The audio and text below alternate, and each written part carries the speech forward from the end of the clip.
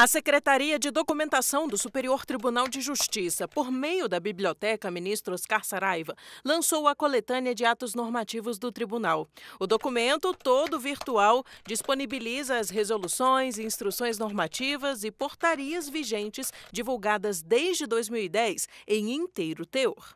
A coletânea é uma publicação diferenciada. Ela tem começo, mas ela não tem fim porque todos os dias, através do clipping, a gente fica conhecendo as novas é, normativos publicados do STJ. Então, todos os dias, diariamente, aqueles normativos que é, são, estão contemplados ou poderão ser inseridos na coletânea, será feita essa atualização. Os atos normativos são apresentados por temas, organizados em ordem alfabética.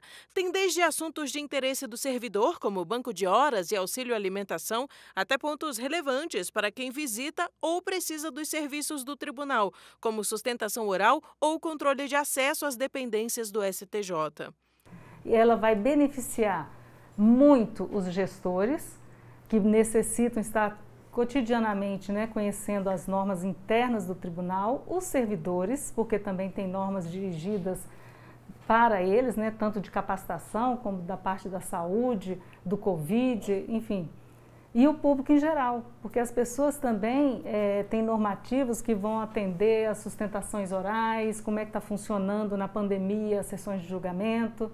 Então, é uma publicação que atende inúmeros setores, né? servidores, ministros, gestores e cidadãos. Para acessar a coletânea, basta entrar no site do Superior Tribunal de Justiça, procurar o ícone Biblioteca no lado esquerdo da página, Publicações Institucionais e selecionar Coletânea de Atos Normativos do STJ. Acesso mais rápido, mais fácil, para facilitar o tempo também do usuário, porque nós sabemos que informação tem que ser no tempo e na hora, não adianta a informação tardia. Então, isso veio para dar uma celeridade também na busca por essa informação.